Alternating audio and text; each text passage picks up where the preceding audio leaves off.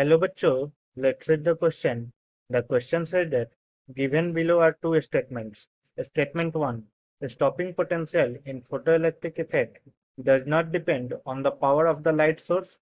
Statement 2. For a given metal, the maximum kinetic energy of the photoelectron depends on the wavelength of the incident light.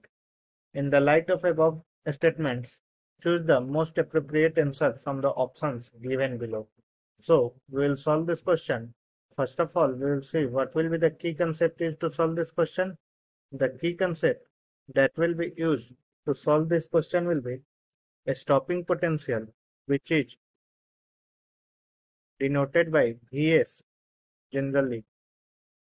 Vs is equal to maximum kinetic energy divided by charge on the electron that is E that is E into Vs is equal to Ke max.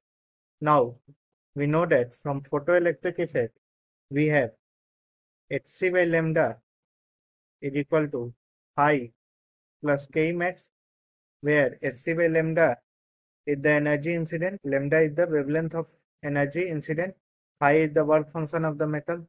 So from here Ke max that is maximum kinetic energy that will be equal to Hc by lambda minus phi. So Vs that is a stopping potential that will be equal to Hc by lambda minus phi by E. So from here we can see that a stopping potential or maximum kinetic energy depends on the wavelength of incident light but the stopping potential does not depend stopping potential or maximum kinetic energy maximum kinetic energy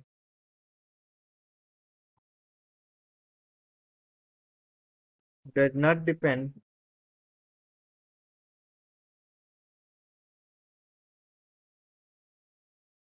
on the intensity on the intensity or power of light used or power of light used it only depends on frequency.